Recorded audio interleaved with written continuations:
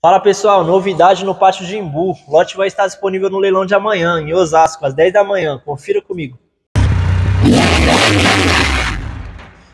Você que está procurando uma moto de alta cilindrada, Rocket 3 2021. Moto pequena monta, da partida em Grena, com apenas 11 mil quilômetros rodados.